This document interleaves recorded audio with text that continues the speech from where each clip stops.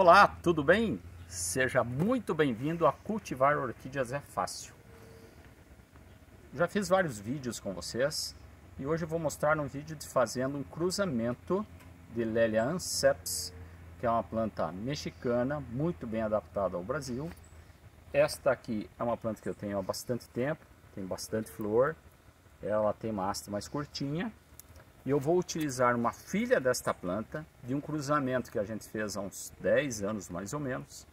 Tem uma variedade muito bonita, que é praticamente rubra, com outra orquídea Anceps, Lélia Anceps, é, Forte Caroline, que é uma outra variedade.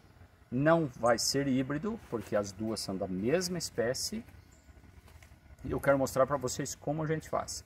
Depois, se der tudo certinho, a gente vai semear esta cápsula daqui a alguns meses, vocês vão ver que não é uma cápsula muito grande, amadurece mais rápido, em torno de seis meses, dependendo as condições climáticas, às vezes um pouquinho mais, um pouquinho menos, e vocês vão acompanhar isso com a gente também.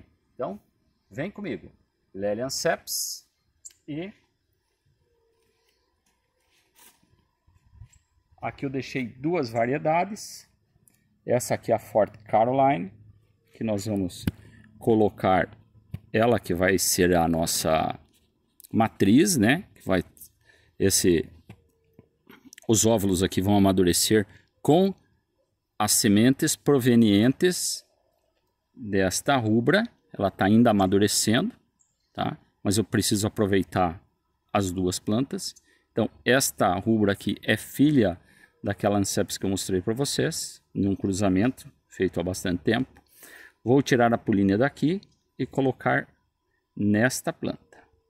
A título de curiosidade, essa aqui é uma marmorata. Isso não é vírus, tá?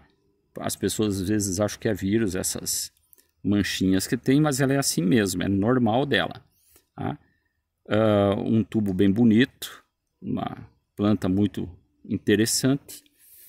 E aí eu quero, que, o que eu quero fazer? Eu quero acentuar a cor desta planta, dos filhos desta planta, mantendo a, se tudo der certo, né, geneticamente falando, mantendo a cor desse labelo e colocando mais cor na flor, tá? Isso tudo é aquilo que a gente coloca, mas a genética é outra coisa. Vamos lá, vamos fazer.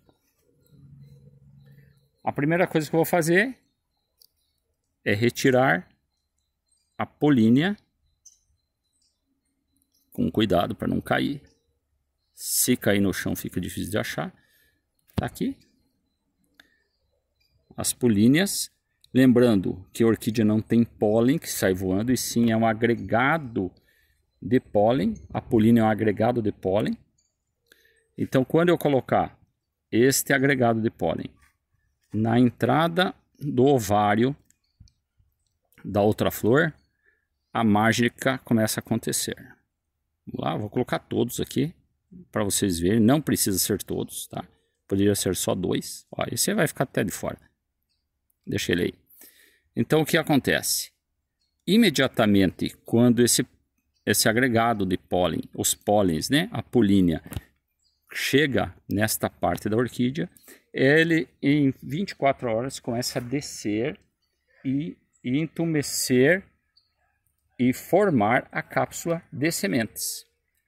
Agora o próximo passo aqui é colocar uma, uma plaqueta identificando o cruzamento que eu fiz com a data e vamos esperar que tudo dê certo. Se você está gostando desse vídeo, deixe o seu joinha. Se você não gostou do vídeo, dê o dislike. Comente aí embaixo, compartilhe com seus amigos e nos conheça mais em rforquídeas.com.br.